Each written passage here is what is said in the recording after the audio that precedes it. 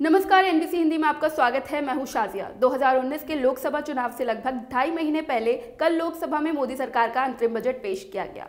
जो कि वित्त मंत्री अरुण जेटली की खराब तबियत के चलते पीयूष गोयल ने पेश किया। ये बजट चुनाव से पहले पेश किया गया है तो ज़ाहिर है ये बजट चाहे राजनेता हो या आम आदमी सबके लिए बहुत मायने रखता है। इस बजट में हर तबके के लोगों का खास ध्यान रखा गया है और ये बजट महिलाओं, किसानों, मध्यम वर्ग, आयकर दाता के हित में है। इनकम टैक्स की सीमा पाँच लाख कर दी गई है। पहले ये सीमा ढाई लाख थी और साढ़े छह लाख रुपए के निवेश में अब कोई टैक्स नहीं लगेगा। साढ़े छह लाख तक जब आप ये इन्वेस्टमेंट करते हो तो साढ़े छह लाख तक भी कोई टैक्स नहीं आएगा अगर आप इन्वेस्टमेंट करते हो। दो हेक्टेयर खेत वाले किसानों को हर साल छह हज़ार रुपए की मदद दी जाएगी। इससे 12 करोड़ किसानों का फ़ायदा होगा। पीएम किसान इस योजना के तहत जो वल्नरेबल किसान हैं जो छोटी ज़मीन रखते हैं दो हेक्टेयर तक की जिनकी ज़मीन है दो हेक्टेयर तक की ज़मीन को उन सभी को सीधा उनके इनकम में सपोर्ट डायरेक्ट इनकम सपोर्ट छः हज़ार रुपये प्रति वर्ष के हिसाब से देने का निर्णय सरकार ने किया है।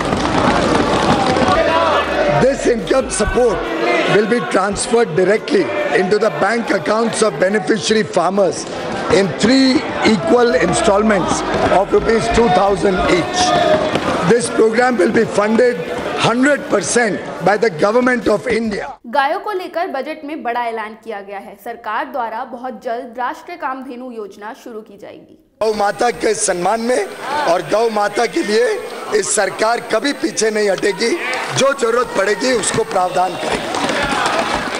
नौकरी वालों के लिए बजट में बड़ी राहत दी गई है। सरकार ने ग्रेजुएटी भुगतान सीमा 10 लाख से 20 लाख कर दी है। ग्रेचुटी के भुगतान की सीमा को दस लाख से बढ़ाकर बीस लाख रुपए का बजट पेश करते हुए पीयूष गोयल ने कहा कि मोदी जी ने कमर तोड़ महँगाई की कमर तोड़ दी है और बहुत जल्द सरकार का कब्जा भगौड़ों की संपत्ति पर होगा। Prime minister admitted as much when he said and I quote we have also not been as successful in controlling persistent inflation as we would have because food inflation has increased unquote इसके विपरीत हमारी सरकार ने कमर तोड़ महँगाई की कमर ही तोड़ दी।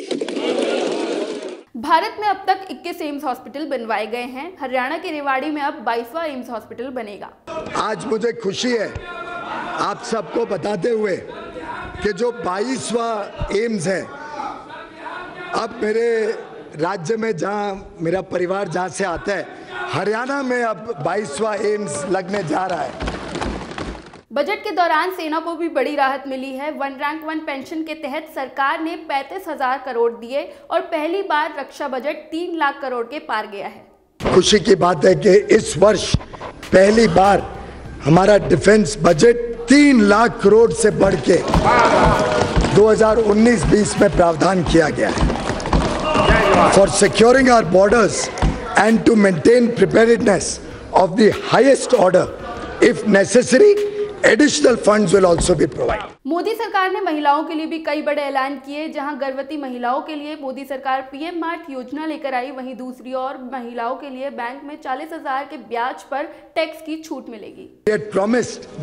Transform the quality of life of women in rural India by providing cleaner fuel for securing the health of every home maker in rural area and to ensure that she does not have to shed tears for cooking food to nourish her family.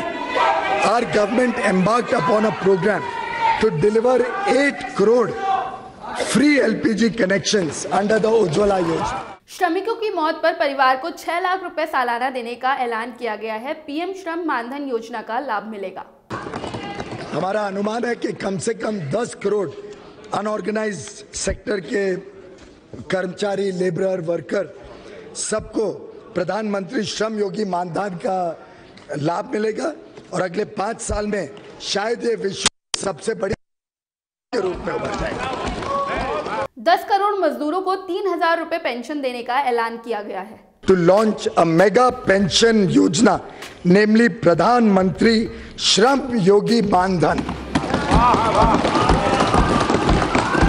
Pradhan Mantri Shram Yogi Mandan will be for the organized sector workers with monthly income up to rupees 15,000. This pension yojana shall provide them an assured monthly pension of rupees 3,000 after they achieve the age of 60 years.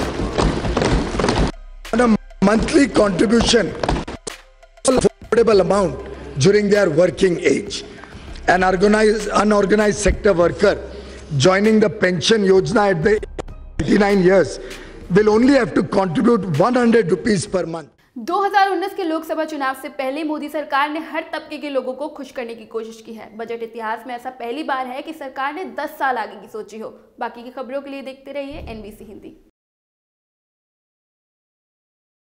Subscribe करें NBC Hindi को और bell icon को दबाइए latest updates के लिए।